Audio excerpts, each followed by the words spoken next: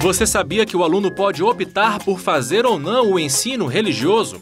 O Supremo Tribunal Federal decidiu recentemente que os professores de ensino religioso nas escolas públicas podem promover suas crenças durante as aulas, mas a matrícula na matéria deve ser facultativa. O Ministério Público Federal defende que a disciplina deve respeitar o Estado laico e aqueles que não professam nenhuma religião. Quer mais informações como esta? Acesse facebook.com/mpfederal.